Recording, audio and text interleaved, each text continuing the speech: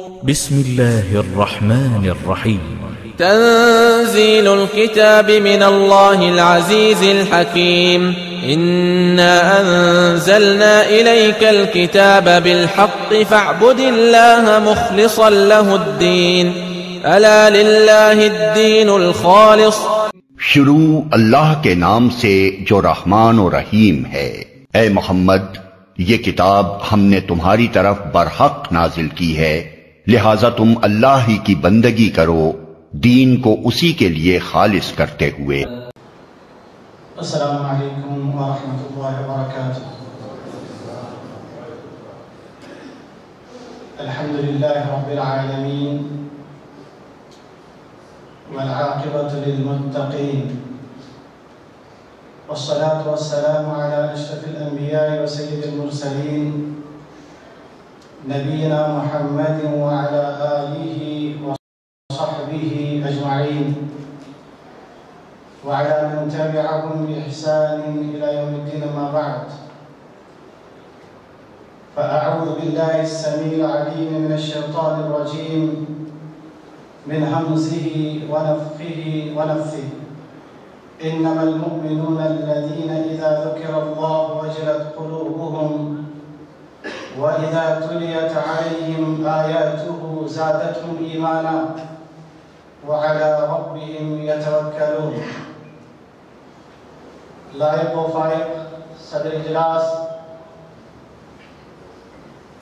علماء کرام جماعت و جمعیت کے ذمہ داران معزز سامعین اور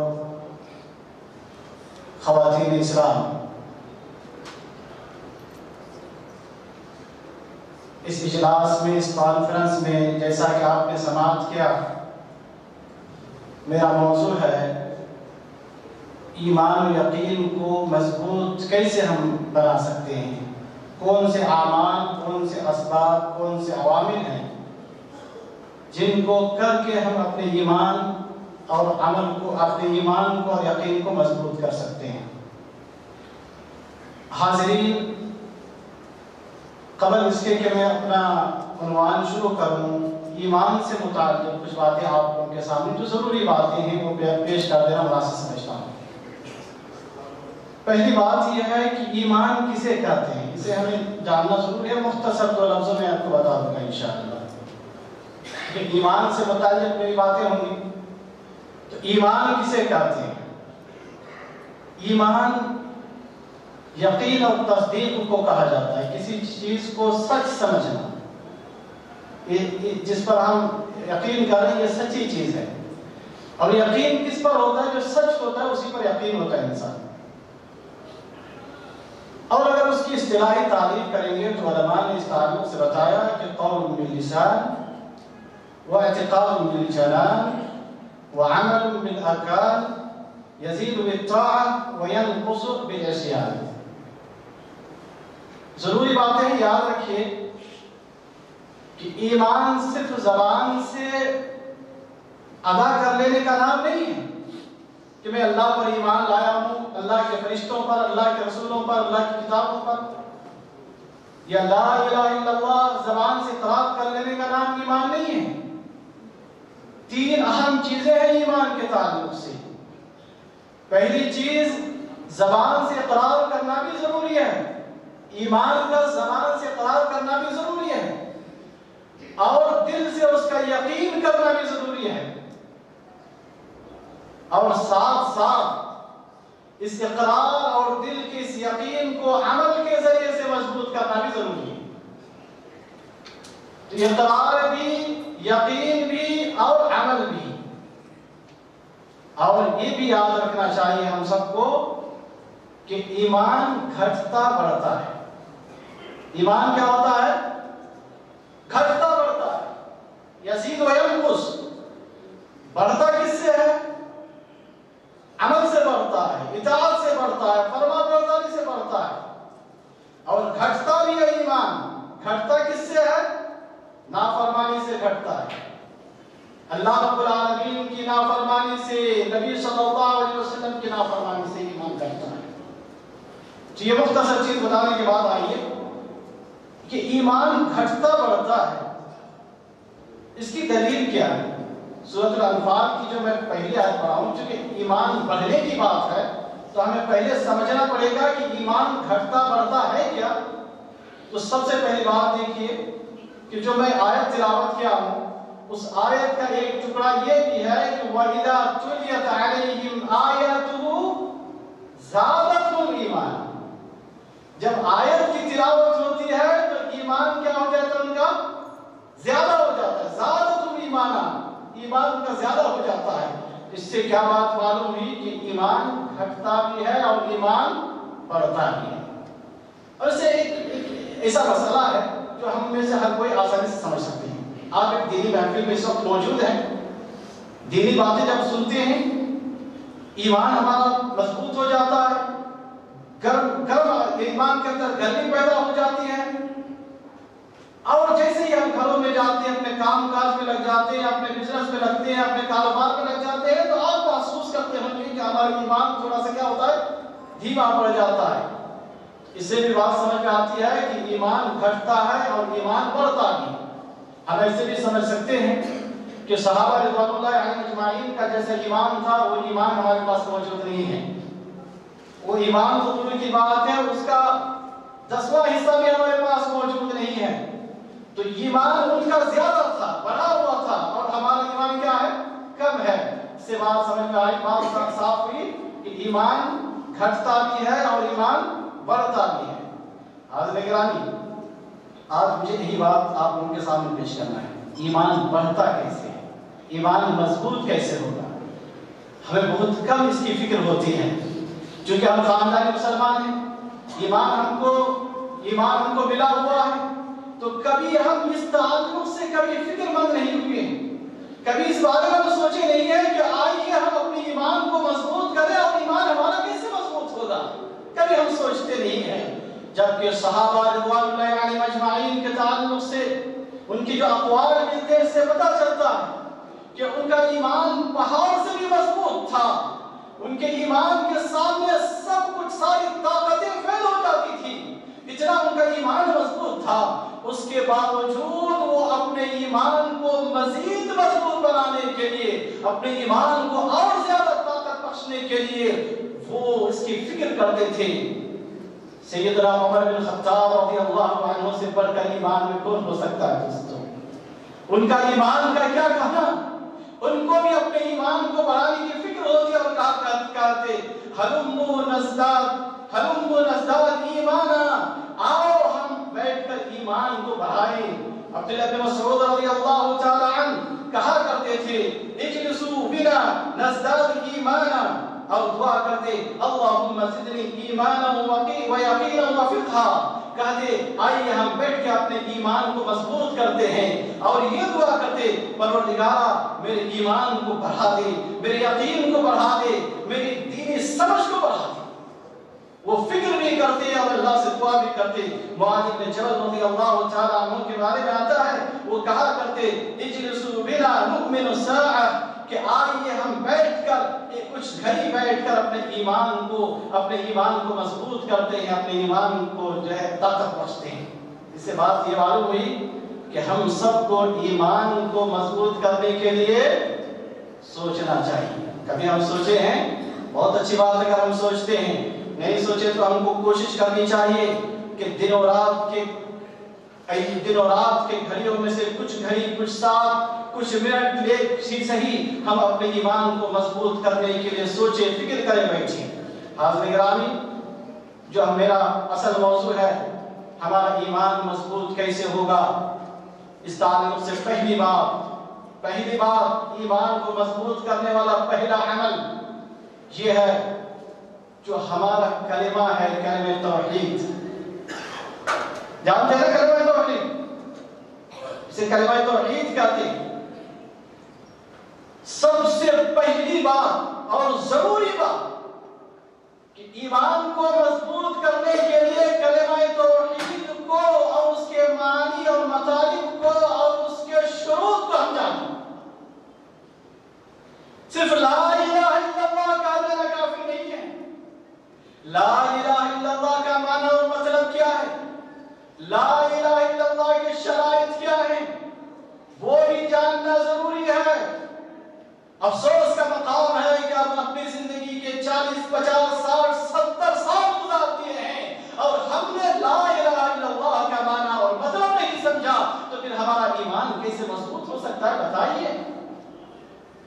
کیا ہم یہ سمجھتے ہیں کہ ایمان ایک مادی چیز ہے؟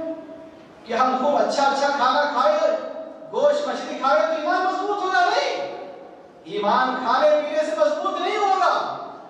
روح جیسے مضبوط ہوگی ہماری، ایمان ہمارا مضبوط ہوگا۔ تو کلمہ توحید کے معنی اور مطلب کو سمجھنا ضروری ہے۔ اللہ رب العالمین کا حکم ہے دوستو لا الہ الا اللہ کو سیکھنے کا حکم اللہ نے دیا ہے، اس کا علم حاصل کرنے کا حکم اللہ نے دیا ہے۔ سورہ محمد کے اندر اللہ رب العالمین نے فرمایا، فَعَلَمْ أَنَّهُ لَا إِلَهَ إِلَّا اللَّهِ۔ جان لو، علم حاصل کر لو۔ کس چیز کا علم حاصل کرنے کا اللہ حکم دے رہے ہیں لا الہ الا اللہ کا علم حاصل کر لو۔ اللہ کا حکم ہے کہ لا الہ الا اللہ کا علم حاصل کرنا۔ اسی طرح صرف نہ دے کہ اللہ رب العالمین نے لا الہ الا اللہ کا حکم دیا ہے، علم حاصل کرنے کا حکم دیا ہے، بلکہ اس کلمہ کلمہ توحید اور اس کلمہ حق کی شہادت خود رب العالمین دیتے ہیں اور اس کلمہ حق کی شہادت فرشتے دیتے ہیں، اہل علم دیتے ہیں۔ شہد اللہ انه لا الہ الا هو والملائکۃ واولو العلم قائما بالقسط لا الہ إلا هو العزیز الحکیم اللہ اکبر اللہ رب العالمین اللہ کے پاک باز فرشتے. اہل علم. سب اس اس لا الہ الا اللہ کی گواہی دیتے ہیں، لہذا ہمیں چاہیے کہ ہم لا الہ الا اللہ کے معنی اور مطلب کو سمجھیں۔ اگر لا الہ الا اللہ کے معنی اور مطلب کو سمجھ جائیں گے، تو انشاءاللہ انشاءاللہ ہمارا ہمارا ایمان ہمارا ایمان مضبوط ہوگا۔ اسی طرح لا الہ الا اللہ کی کچھ شرائط ہیں دوستو، علماء نے اس کے ساتھ شرائط بتائے ہیں۔ میرے لیے یہاں وقت نہیں ہے کہ میں آپ کو اس کی تفصیل بیان کروں۔ ہمارے لیے ضروری ہے کہ ہم لا الہ الا اللہ کے شرائط کو بھی سمجھیں اور شرائط کو بھی اپنے دل و دماغ کے اندر بٹھائیں۔ حاضرین، ایمان کو مضبوط کرنے والے اعمال میں سے دوسرا عمل ہے تلاوت قرآن مجید۔ دوسرا عمل کیا ہے؟ قرآن مجید کی تلاوت۔ مجھے معاف کیجیے گا۔ اگر میں یہاں سوال کروں کہ آج جنوری کی چودہ تاریخ، رجب کی دو تاریخ، آج ہم نے، ہم میں سے کتنے ہیں جو قرآن مجید کی تلاوت کی ہیں آج کے دن؟ میرے خیال میں بہت کم لوگ میں بھی ایک مسجد میں امام خطیب ہوں۔ مرکزی مسجد کے ماتحت مسجد آزادی عمر فاروق میں۔ مجھے لوگوں کا، لوگوں سے واسطہ ہوتا ہے۔ میں لوگوں کو دیکھتا ہوں۔ تلاوت قرآن مجید ایمان کو مضبوط کرنے کا بہت بڑا اور بہترین ذریعہ ہے۔ اور اس تعلق سے ہم سے دو بڑی غلطی ہوئی ہے قرآن مجید کے تعلق سے دوستوں دو بہت بڑی غلطی ہوئی ہے۔ پہلی غلطی، اب دیکھیں اتنی بڑی غلطی اگر ہم سے قرآن مجید کے تعلق سے ہو رہی ہے تو ہمارا ایمان کیسے مضبوط ہوگا دوست پہلی غلطی ہے کہ ہم میں سے اکثر قرآن مجید کی تلاوت صحت کے ساتھ کرنا ہی نہیں جانتے۔ بہت کم لوگ ہوں گے جو اس کے احکام، اس تجوید کے احکام اور کی وہ رعایت کرتے ہوئے قرآن مجید کی تلاوت کرتے ہیں اور پابندی کے ساتھ ہر دن قرآن کی تلاوت کرتے ہیں۔ بہت کم لوگ ہوں گے، جبکہ مجرد قرآن کی تلاوت کرنا یا قرآن کی تلاوت سننا بھی ایمان کو مضبوط کرنے والی چیز ہے تو پہلی غلطی ہم سے یہ ہے کہ غلطی کہیں گے، کوتاہی کہیں یا لاپرواہی کہیں کہ ہم قرآن مجید کی تلاوت نہیں کرتے۔ اور قرآن مجید کے تعلق سے ہماری دوسری لاپرواہی یہ ہے کہ کبھی اس کے معنی اور مطالب پر ہمیں کبھی غور نہیں کیا۔ زندگی کے سال ستر سال گزر گئے ہمارے۔ پانچوں وقتوں کی نماز کے ہم پابند ہیں۔ اور پانچوں نمازوں میں ہم ہر نماز میں سورت الفاتحہ کی تلاوت لازمن کرتے ہیں ہم میں سے کتنے لوگ ہوں گے جو سورہ فاتحہ کی ان سات آیتوں کے معنی اور مطالب جانتے ہیں بتائیے دوستو، دنیا میں ابھی ایسی قوم ہے جو اپنے مقدس ترین کتاب قرآن مجید کے تعلق سے کچھ بھی نہیں جانتے ہمیں ایسی قوم ہے کہ اس کتاب کو صرف پڑھتے ہیں طوطے کی طرح۔ سمجھتے نہیں ہے باقی جتنے بھی اقوام ہیں، وہ اپنی مذہبی کتابوں کو پڑھتے بھی ہیں، سمجھتے بھی ہیں، سمجھ کر پڑھتے ایمان کو مضبوط کرنے کے لیے قرآن کی تلاوت بھی ضروری ہے اور قرآن کو سمجھنا، اس میں تدبر کرنا، اس میں سوچنا، ان کی قرآن کی آیتوں پر غور و فکر کرنا، یہ بھی ضروری ہے قرآن کو سننے والے کی ایمان مضبوط ہوتا ہے۔ اللہ رب العالمین نے فرمایا، وَإِذَا تُلِيَتْ عَلَيْهِمْ آيَاتُهُ زَادَتْهُمْ ایمانا ان پر آیت قرآن کی جب تلاوت ہوتی ہے، تو وہ ایمان ان کا بڑھ جاتا ہے۔ پیارے نبی صلی اللہ رب العالمین نے فرمایا، وَإِذَا مَا أُنزِلَتْ سُورَةٌ فَمِنْهُمْ مَنْ يَقُولُ أَيُّكُمْ زَادَتْهُ هَذِهِ إِيمَانًا؟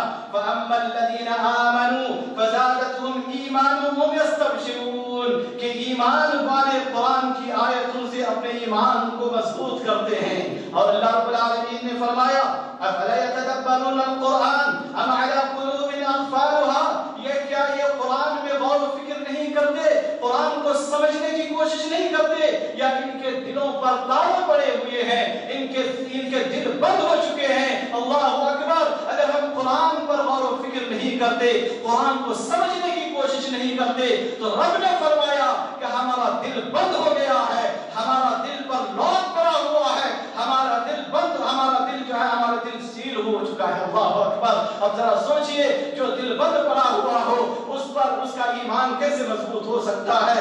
لہذا ہمیں چاہیے کہ ہم قرآن کو پڑھیں، قرآن کو سنیں، قرآن کو سمجھیں۔ انشاءاللہ ہمارا ایمان بہت مضبوط ہوگا، انشاءاللہ۔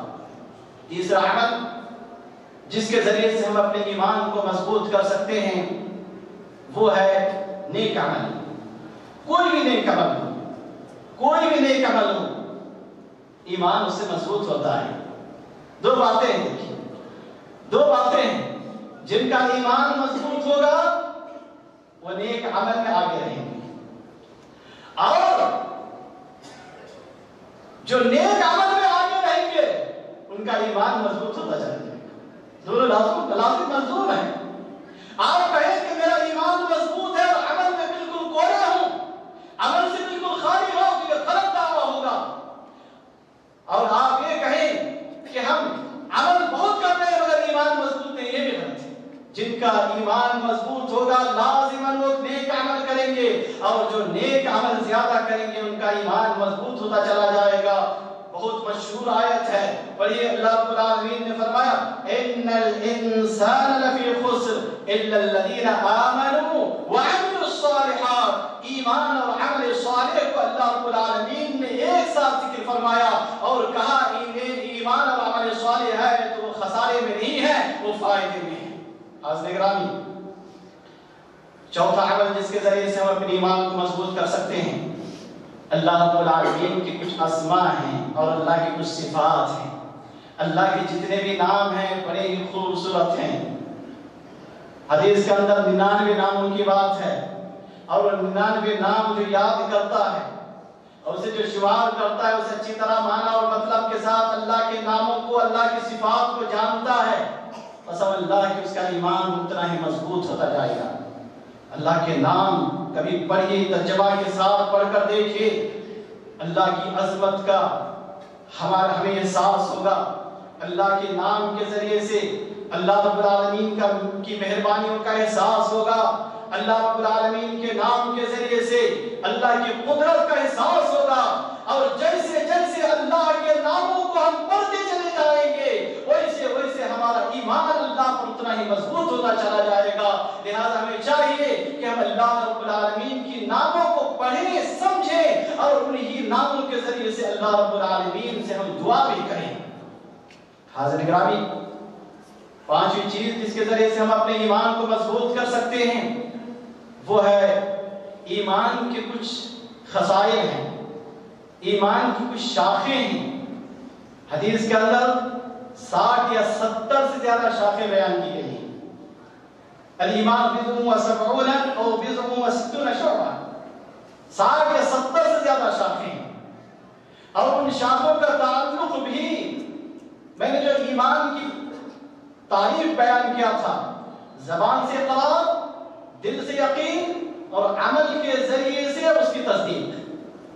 تو ان عام جو ایمان کی شاخیں ہیں، ایمان کی شاخوں کا تعلق بھی ایسی انہی چیزوں سے ہے احادیث کے اندر پوری تفصیل اس کی بیان کی گئی ہے۔ کچھ کچھ ایمان کی شاخیں ایسی ہیں جن کا تعلق دل سے ہے، جیسے توحید ہے۔ توکل اللہ اللہ پر بھروسہ کرنا ہے۔ اللہ سے امید باندھنا ہے۔ اللہ رب العالمین سے خوف کر خوف رکھنا ہے، ڈرنا ہے۔ یہ سب کے سب اعمال قلب میں سے ہے دل کے اعمال میں سے ہے اسی طرح میں نے بتایا تھا، کچھ اعمال کا تعلق، کچھ شاخوں کا تعلق زبان سے ہے۔ جیسے شہادہ کا اقرار کرنا اشہد ان لا الہ الا اللہ اللہ کا ذکر کرنا، اللہ کے کلام کی تلاوت کرنا، اللہ سے دعا کرنا، یہ بھی ایمان کی شاخوں میں سے ہے اور ان کا تعلق زبان سے ہے۔ اسی طرح کچھ ایسے اعمال ہیں، کچھ شاخیں ایسی ہیں جن کا تعلق جن کا تعلق آزا اور جوارے سے یعنی ہاتھ اور پاؤں کے ذریعے سے کرنے کے ہوتے ہیں، عمل سے متعلق ہیں۔ جیسے الصلاۃ، نماز پڑھنا، جیسے صوم، روزہ رکھنا، حج، غریبوں، مسکینوں، فقراء، مساکین کی مدد کرنا، ان سب کا تعلق ہاتھ پاؤں کے ذریعے سے عمل میں آتے ہیں، تو ایمان کی جو شاخیں ہیں، ان شاخوں کو بھی ہمیں، ان شاخوں پر عمل کرنا ضروری ہے۔ پیارے نبی صلی اللہ علیہ وسلم کی مشہور حدیث ہے کہ فَأَفْضَلُهَا قَوْلُ لَا إِلَهَ إِلَّا اللَّهُ وَأَدْنَاهَا إِمَاتَةُ الْأَذَى عَنِ الطَّرِيقِ والحیاء شعبۃ من الایمان سب سے بہترین لا الہ کا اقرار اور سب سے کم در جو شاخ ہے، سب سے کم درجے کا جو شاخ ہے وہ راستے سے تکلیف دہ چیز کو ہٹا دینا اور حیا حیا ایمان کے شعبہ میں سے، ایمان کے حصوں میں سے ہے۔ اس حدیث کے اندر بھی وہی ایمان کی جو تعریف کی گئی تھی، تینوں چیزیں ہیں۔ لا الہ الا اللہ کا تعلق زبان سے اقرار کرنے سے متعلق ہے۔ اور راستوں سے تکلیف دہ چیزوں کو ہٹا دینا یہ عمل کرنے سے متعلق ہے۔ اور حیا حیا یہ جو ہے دل کے عمل میں سے ہے۔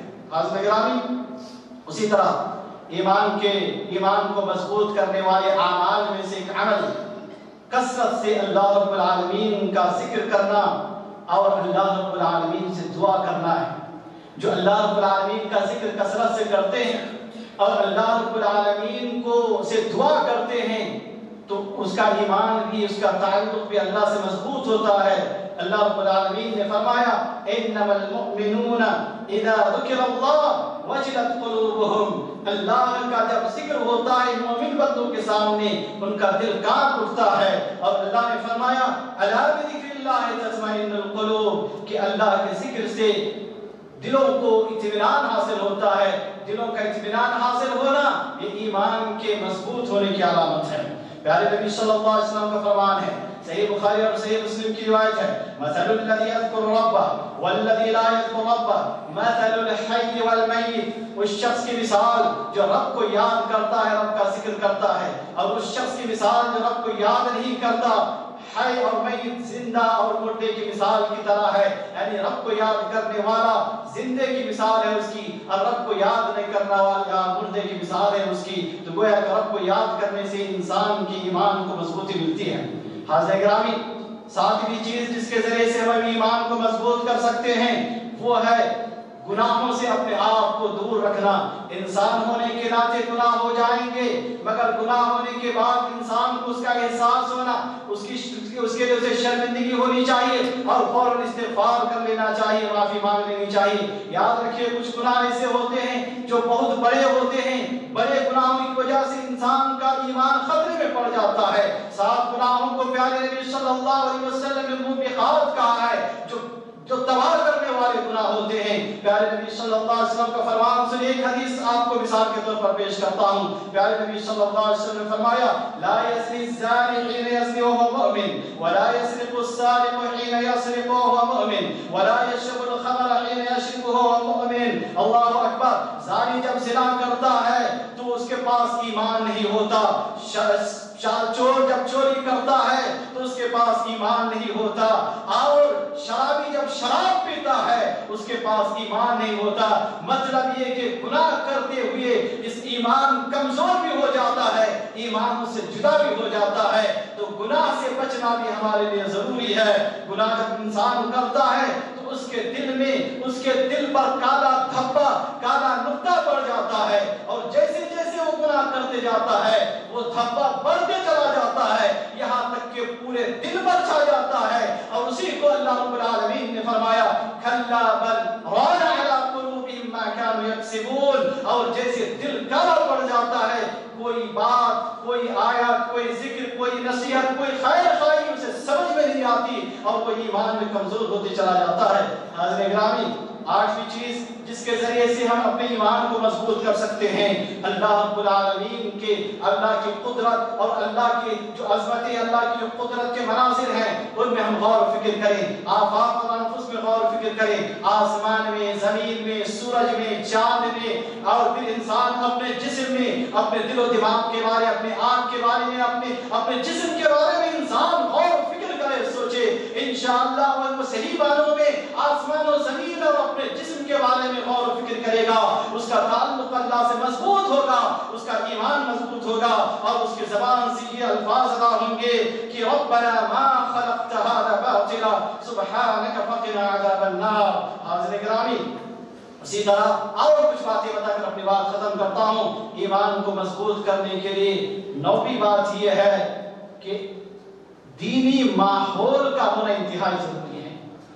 ایسی جگہ ہمارا گھر رہے جہاں مسجد قریب ہو، جہاں سے اذان کی آواز آتی ہو، دینی ماحول ہو، ایسے ماحول میں اگر مشرکانہ ماحول میں گھر ہوگا گانے بجانے کی آواز چوبیس گھنٹے آتے رہیں گے گالی گلوچ آتے رہیں گے ہمارے بچے ایسے بچوں سے ملاقات کریں گے جو شرک کر رہے ہوں شرک کی طرف بلا رہے ہوں ہمارا ایمان محفوظ نہیں رہ سکتا دوستو اس وجہ سے ماحول کا بھی انسان کی زندگی اور انسان کی ایمان پر بڑا اہم دخل ہے۔ اس وجہ سے ہم کو چاہیے کہ ہم اپنے بود و بات جو اختیار کریں رہائش اختیار کریں، دینی ماحول میں کریں۔ دسویں بات کہ ایمان کو مضبوط کرنے کے لیے نیک لوگوں کی صحبت ضروری ہے۔ دوستو ذرا بتا، آپ کے مسجد کے امام خطیب فضیلت الشیخ، اعجاز ندوی حفظ اللہ، کتنی محنتیں کرتے دنوں رات کبھی ہم آ کر بیٹھتے ہیں ان کے ساتھ میں ایک مسجد کی مثال بیان کر رہا ہوں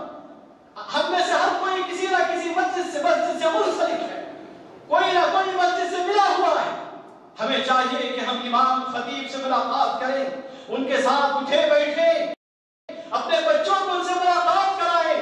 دیندار لوگوں سے، اخیار سے اہل علم اس کی صحبت میں اگر ہم رہیں گے، ہمارا ایمان مضبوط بھی ہوگا، ہمارا ایمان محفوظ بھی رہے گا انشاءاللہ۔ اسی طرح گیارہویں بات یہ ہے کہ دینی محفلوں، دینی مجلسوں اور دینی درسوں میں شرکت حلقات میں شرکت بہت ضروری ہے۔ الحمدللہ ہماری مسجدوں میں کہیں تین تو کہیں دو دروس تو ڈیلی ہوتے ہیں۔ فجر کے بعد درس قرآن ہوتا ہے، عشاء کے بعد درس حدیث اور اسی طرح عصر کے بعد بھی جن دینی محفلوں کو ان دروس کو کمزور نہ سمجھیں ان سے ہمارا ایمان مضبوط ہوتا ہے دوستو۔ اور اسی طرح بارہویں بات یہ ہے کہ سیرت کا مطالعہ کریں، پڑھیں۔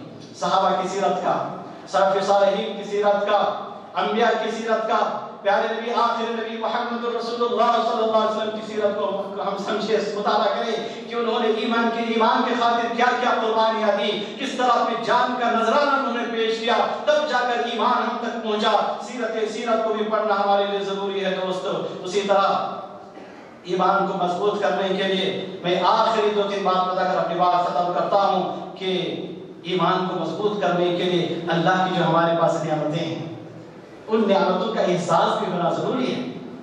ہم کھانا کھائیں اس کو اللہ کی نعمت سمجھ کر فوراً اللہ کی تعریف کریں تو اللہ سے ہمارا تعلق مضبوط ہوگا۔ ایک مثال میں نے دیا، اللہ کی جو بھی نعمتیں ہیں، ان نعمتوں کا احساس ہو اور ان نعمتوں پر اللہ کا شکر بجا رب اعوذنی ان اشکر نعمتک التي انعمت علی رب اعوذنی، حضرت سلیمان علیہ السلام سورۃ النبت پڑھی بار بار رب اعوذنی پروردگار مجھے توفیق دے کہ میں تیری نعمتوں کا شکر بجا رہا تو اللہ کی رحمت پر اسی طرح آخری بات دوستو جنت اور جہنم کے بارے میں پڑھتے بھی رہیے سنتے بھی رہیے اس میں دل پگھلتا ہے، ایمان مضبوط ہوتا ہے انشاءاللہ یہ کچھ باتیں تھیں جو میں اپنے وقت، مختصر وقت میں آپ کے سامنے پیش کر دیا۔